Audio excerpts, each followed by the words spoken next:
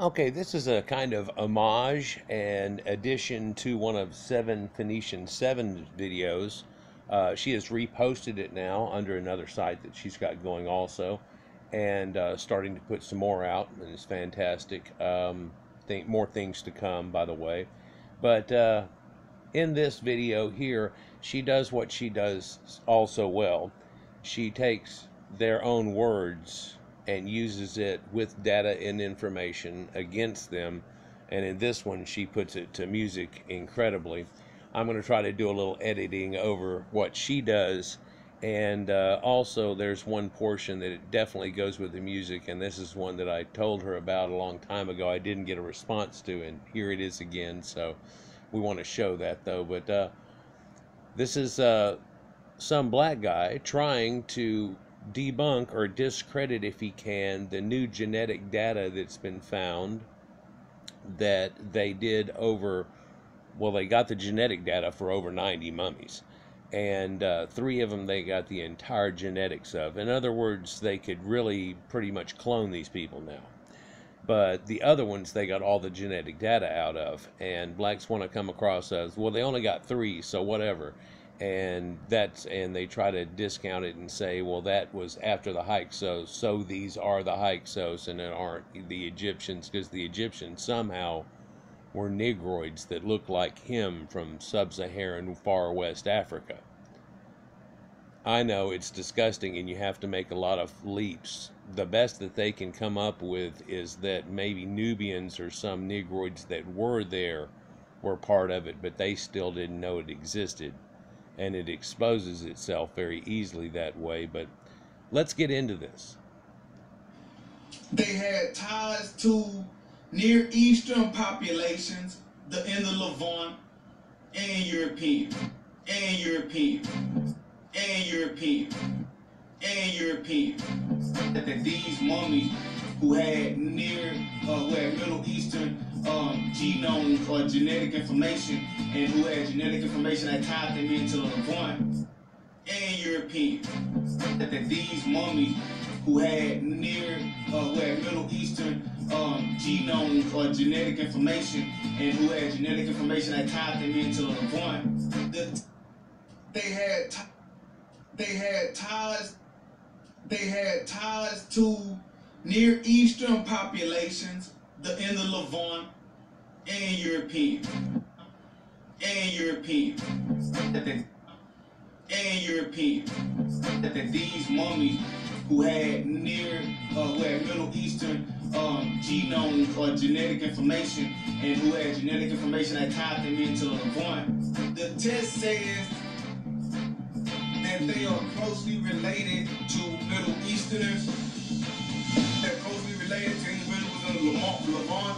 Turkey, in Europe, the DNA test uh, did show that whoever these mummies represent were more closely related to individuals outside of Africa than individuals from sub-Saharan Africa. Amazing, isn't it? Well, just anybody but sub Saharan Africans. That's pretty much what it dictates. Although they said that there were some that actually showed a small scattering that might have been showings of admix that they group with genetics, craniometry, hair, everything that goes with it, of course, from pre dynastic all the way through with early Caucasians, some of them even blonde, red haired, and if you look up blue eyed Egyptians, which we will do here shortly, you can see these crystal blue eyed statues they begin with. And so there is no beginning that got melded out later. And what they were hoping to find in this test, by the way, was the changing of the guard and some genetic flip flopping going on for they would see Egyptians, then some Egyptians admixed probably with Persians, and then some Akkadian maybe, but then definitely some Greek integration and then Romans.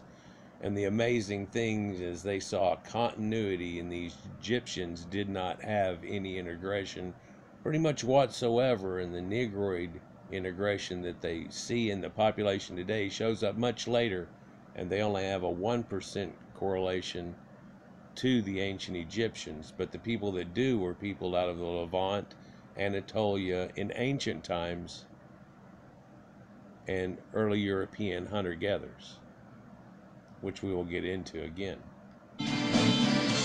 When you look into the site Abu Sir El Malek, among other things, it is known to be a burial site that was used by the Hyksos. No, it's not. It's uh, more centralized, and it was known to have been used all the way through the dynasties. In fact, that's the reason that they loved their opportunity to check it here, because this would have been a mixing in enough of the south as far as the north. It's not just looking at some delta thing, but it would have been definitely the crossing point of it. And a lot of people wanted to be buried here due to the ancients buried here and so on. And so it has continuity and it also has connections and connections that the Egyptians themselves would have made and wanted to be buried against. And uh, it reveals quite startling information for some, but not for others. For others, it's just another verification.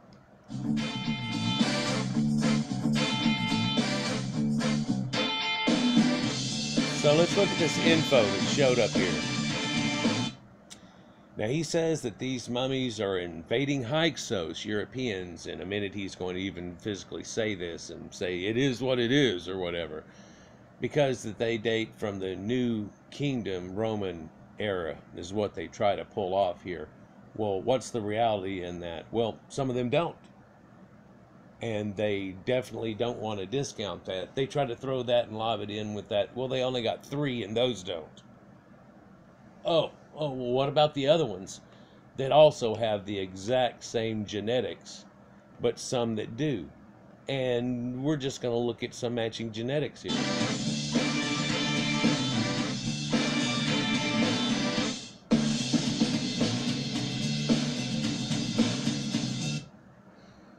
So, uh, back in the 12th dynasty, pre Hyksos, there is this one that has M1A1, and I'll be damned if all these don't have this same genetic connections to it. And it shows you that, look at this date 1200 BC. Earlier and later, same genetics. Now this is M. In a moment we're going to look at some U. And that has to do with European hunter-gatherers, but looky here.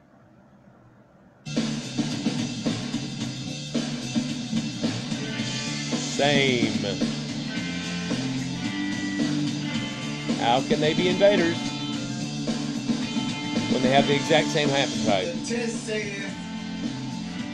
that they are closely related to Middle Easterners, Middle Easterners, Easterners. Since Abu Sir is closely related to the Middle Easterners, and since mummies from the 12th dynasty are the exact same haplotype as those Middle Easterners, is it therefore proves that Abu Sir reflects a genetic continuum with the 12th dynasty of Deir Ifra, Rifa populations.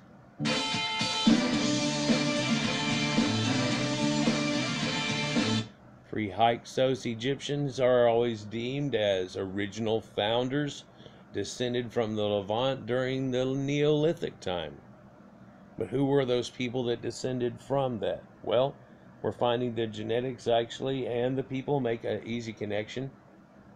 These people of Catalhoyuk and apparently of Gobekli Tepe, brought cattle and grains along with the Sumerian people into this area. Grains and cattle that had been domesticated by both of these people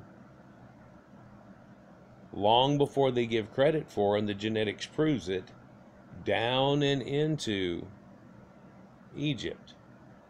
But the Natufians are shown as being around the crutch of what we would call Canaanite area, Palestine, if you will, ancient Phoenicians, around the crescent that is the eastern and southeastern shore of the delta and all they literally did was walk up north and get together with the population that was there later. And it's believed that the Sphinx may have been actually deviated long before the pyramids were built there, too. But other people have a lot of other thoughts about it. But one thing's for sure the Egyptians were Caucasians.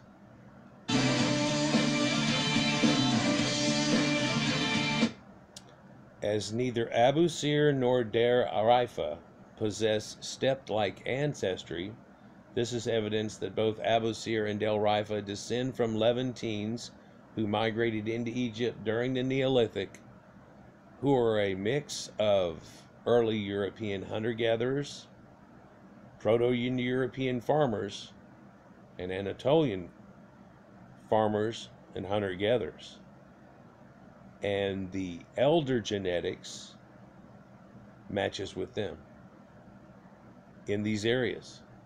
We'll look at that shortly too. She puts it through rather fast. Some of these you have to stop the video on. I hate that because the music's going hot, but then again, I'll get flagged. I don't know how she doesn't get flagged.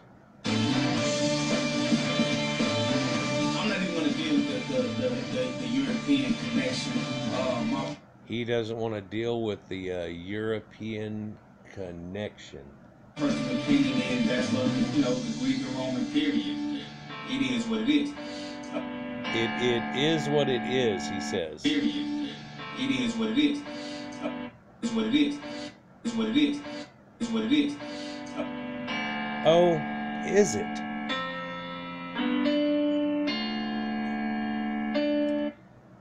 So here's where she gets to shine and show that genetics takes over. And these are moments like in my videos, huh? Uh, David Reich is in on this too, famous geneticist, theorist on genetics. But um, this is like in my videos where I'll show somebody who is well known and well established and their information as part of my information. And then they somehow try to come after me as if I don't know anything and that they're all so smart now. And that if they could discredit me, that makes all these guys wrong. And so you can see the logic failure at the point of that attempt goes before what she shows and what I show are quite often blended knowledge along with genetic and other archaeological data proving our point and showing not the lie. Now, it is what it is, he says. And so here's a 4,000 year old, so 2000 BC. So we've got within his time frame, oops, an early Middle Kingdom governor named Jehudi Not, which I think that means Thoth is strong or powerful. Thoth is the god of wisdom. And there are many things I could say that he said about vile Nubian troglodytes. But um, they were nomarchs, like monarchs, of the Hare Nome. And so these were governance over areas. There were times there were viceroys over Nubia. They became known as the Kushites. And in the 25th dynasty, they retook back over Egypt while using apparently some Nubians, but people want to misconstrue that also. Let's continue.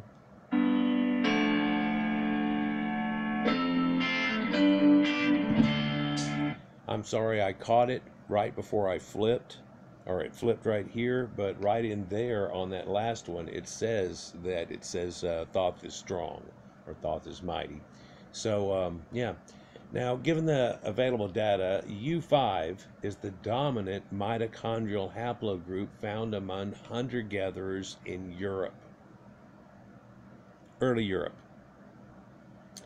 The recovery of haplogroup U5B, 2B5, a variation on a theme, early Caucasian hunter gatherers, sequence from the mummy of Jehadnut. Aha. It was observed the U5 lineage could potentially reflect interactions between Egypt and the Near East that date as far back as pre dynastic and early dynastic periods. This seems to be their way of saying that, um, yeah, there were uh, Europeans here in pre dynastic Egypt. In Egypt. Yeah.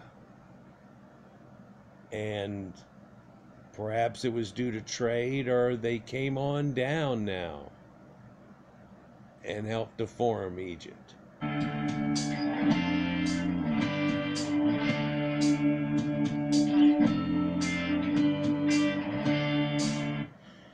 Now this is the part I love about this video and what she's able to do. Somehow, through the process of showing this information, she lines it right up to where the drum intro back in correlates and shows all of their genetics and how they connect up together. And how many of these mummies are also found with this early European haplogroup U5.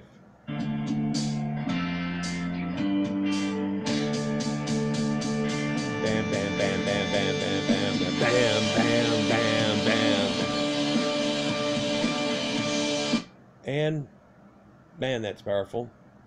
That's almost like cutting off a Led Zeppelin Kashmir right when it comes back into it. But yeah, 4,000 year old. Jehudi knocked. Jehudi again is Thoth, Jehudi.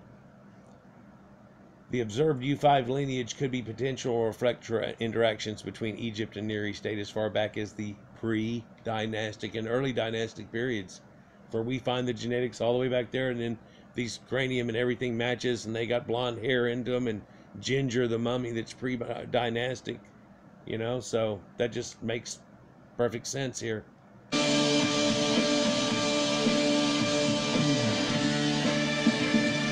And if we look at the extent, man, it's weird, but it's just all of North Africa and all this area that you would have called ancient Phoenician lands and all the Caucasians of North Africa up into Egypt, but also where is it at now? Well, man, there's some in Anatolia, some bit going around through Greece. It shows all the way up through Russia and gets real strong in the Scandinavian lands and stuff, but it's also pretty strong all across Egypt and has a dark area here on the edge of France.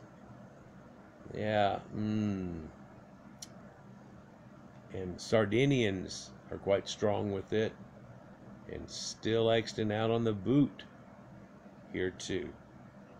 And that strange land of Proto-Europeans that their little blotches there on showing things like X haplogroup and other ones that are showing up in special little areas.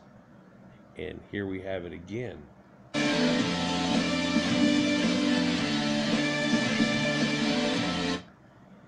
And now we're looking at genetics that they have found over skeletons and such, well, literally of skeletons, going back well over 18,000 years before present or 16,000 BC. Here they do not use BC at all. These are scientists. They use before present or KYA or 1,000 years before now. Before present is locking it usually in less than a thousand years. In other words, they're saying, oh, 13,090 and so on. And where do we find that U at? Well, 12,000 BC, we find it in France. Rochedane and Abuser found it. Paglicci in Italy in 18,000 to 19,000 years before present, 17,000 BC. Villabruna found it in Italy, 12,000 years ago, but also in Croatia, 5800 and 8100 BC, the history of southern Europe, Ice Age Europe, nature, mitochondrial genomes, right? Suggesting dispersals. Serbia, 7,300, 6,000. Ukraine, and 55,400. Germany, 9,000 years ago. Even England, at a closer to modern day. And Spain, even too. And now we see a connection to ancient Egyptian and ancient Egyptian mummies and where these type of people live that contain this haplogroup today.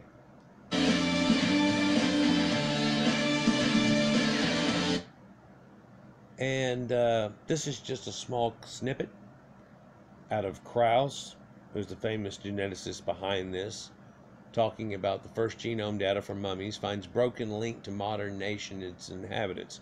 Were Egypt's ancient pharaohs European? Well, it certainly changes the way we think about ancient Egyptians being actually very closely related to the Near East. Because they're not really kind of related to that. They're related to the ancient Near East, like Sumerians and people of Levant and up through Anatolia. But those people's DNA now shows to be much up here. They're those fair skinned Caucasians. You know, the art that they show, of course, a tanned man or red ochre and a pale woman and that's shown in Greek art and Etruscan, Mitanni, Minoans, all these people around here. One thing that they did correctly show is Negroids, and the only Negroids in the area, and again, West African primitives didn't even know Egypt existed. So it's sad just for even the attempt to be made, and when it exposes itself, it looks even more pathetic. So genetically, they're a Near Eastern population. They're not an African population if you define African as sub Saharan Africa, in other words, if you're saying Negroid, no.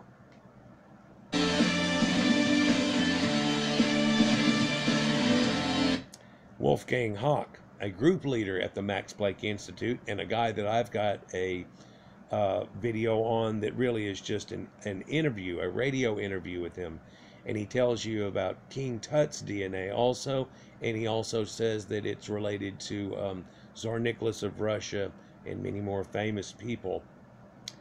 Uh, the genetics of the Abu Sir el Melek community did not undergo any major shifts during the 1300 year time span we studied, suggesting that the population remained genetically relatively unaffected by foreign conquest and rule. Now the thing is, is that's what they were looking for, people. That's what they were expecting to find. For they've got some of these other people's genetics somewhat in test, and then they go, okay, well, here's where the Persians come in, and only these people have it, and where does it affect, and where does it not affect, and all these things. And it was kind of disappointing in many ways on the fact that no, uh, they don't see inter- integration flipping around and twisting. What it did expose is that they're early Proto Indo European hunter gatherers, Anatolian farmers, and they're related to Middle Eastern people and ancient Middle Eastern people, and not Negroids.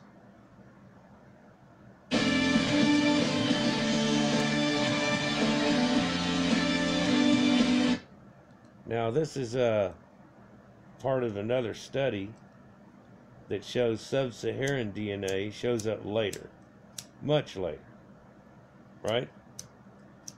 And in this one, it says the data from our three successful genotype samples, this is the full genetics, do not suggest a foreign origin. So can be considered representing the local community profile of the time, but not of the current Caucasian Egyptian population, they only have a 1% connection.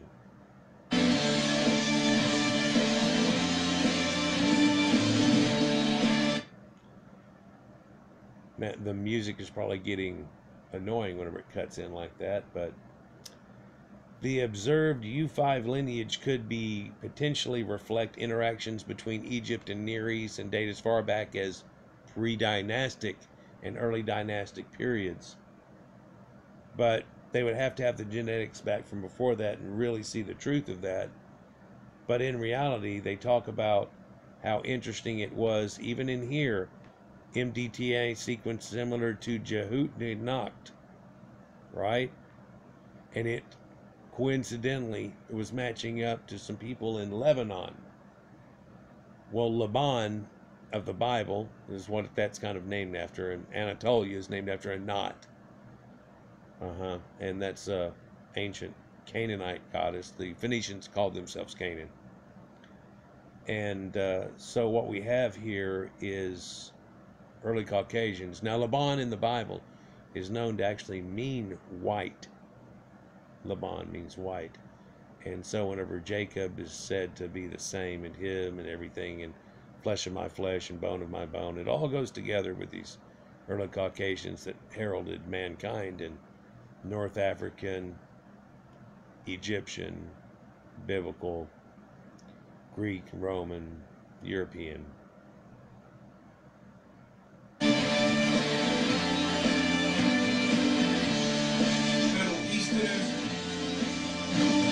it's a very good chance that you're not going to get samples from individuals who were there in, let's say, 2700 BCE or even 1900 BCE. You know, the actual founders of the civilization. Oops, too late.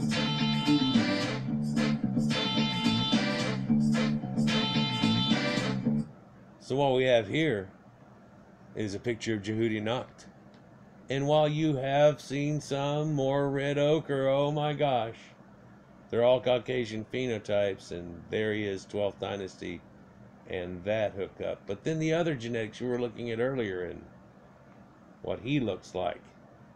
And then they show the only Negroids around, and they aren't even allowed into Egypt during the Ra- Ramsey dynasty. And he's in the tomb showing that they are paying homage, but uh, they have steles which say they don't even come into Egypt, they pay homage at uh, Icon, past Heth, way up, after they had pushed back into Nubia again, and then subjugated them up under viceroys and governors that became Cushites.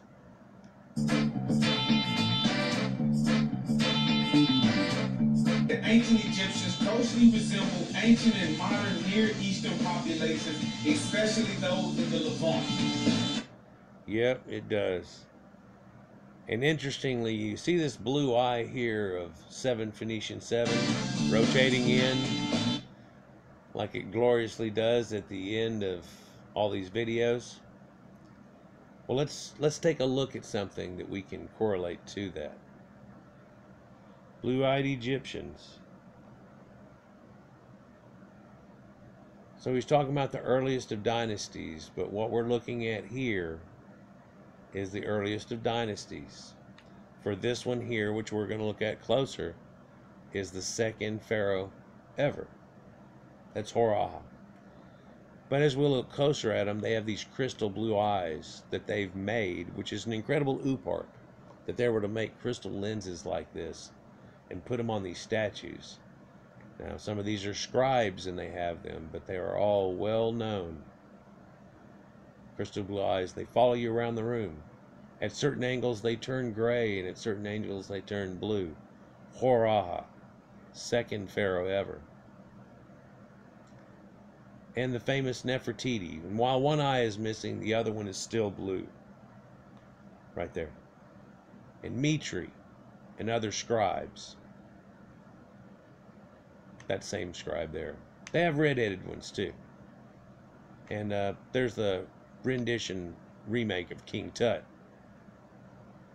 And even Naqada statues of the earliest dynasties of these blue eyes. Oh, there, there's Horaha. Turn it an angle. This one's kind of blue. That one's turned gray. Really kind of grayish blue and all. But even the earliest of statues.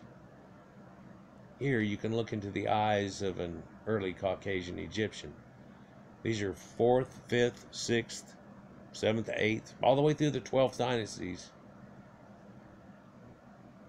Yep, Ka'aper right here, blue eyes. Amazing. The woman here with blue eyes and how pale she is. And this is of the earliest of dynasties. Back when they were drawing or statuary making that was more realistic. You're not so an exacting type yet. Right?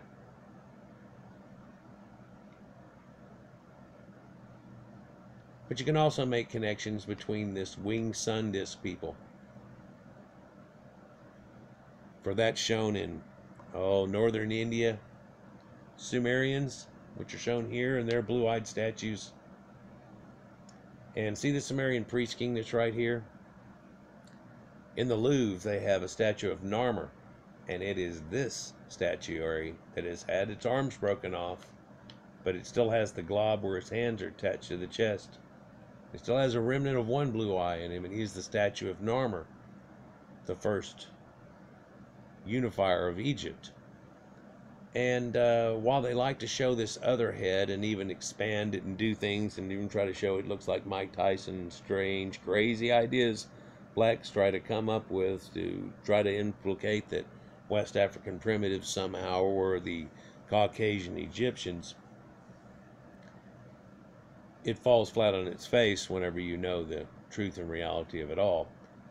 And uh, it goes on and on and on, and there are others that show this blue eyed effect. In fact, the blue eye Egypt symbol, that's the eye of Horus, Wajet. Wajet means blue. It is the blue eye of Horus.